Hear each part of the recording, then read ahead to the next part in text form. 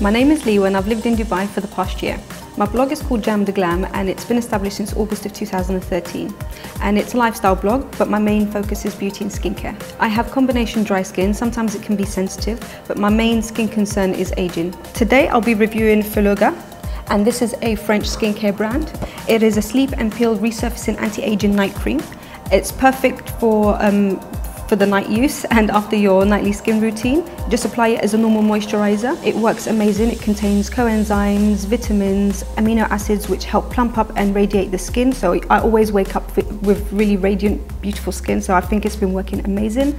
Um, it also contains six different types of hyaluronic acids. So it's um, with, which contains alpha hydroxy acid and beta hydroxy acids, which are great and safe for resurfacing the skin.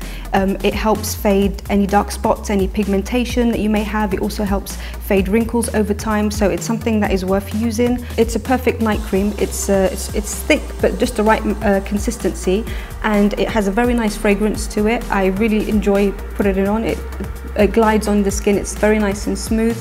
Um, it works great.